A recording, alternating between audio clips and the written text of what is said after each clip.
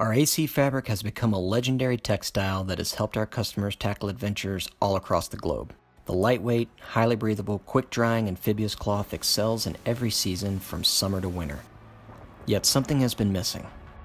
At TAD, we strive to manufacture as much of our goods as possible within the United States, and most of our products are.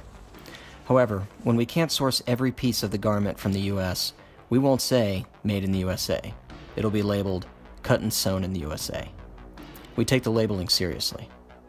Our AC fabric is one of those examples, to date being an imported fabric. However, today, we are excited to announce that over the next 18 months, our AC fabric will now be manufactured domestically, proudly bringing more products in our lineup under the Made in USA label. This will apply to our Force 10, Recon, and Talon Guide pant and short family of products over the coming seasons.